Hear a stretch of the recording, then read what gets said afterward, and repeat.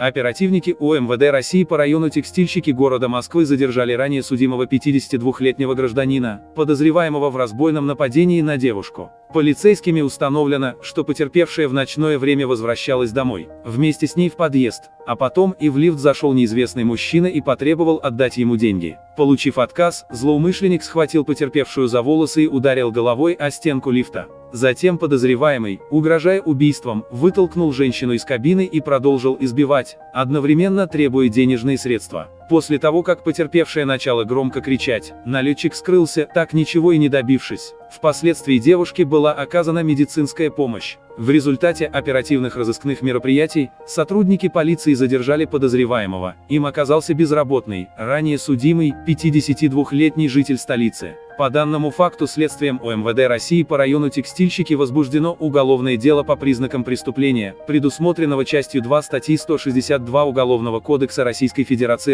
«Разбой». В отношении подозреваемого избрана мера пресечения в виде заключения под стражу. Подписывайтесь на канал, ставьте лайки, пишите комментарии.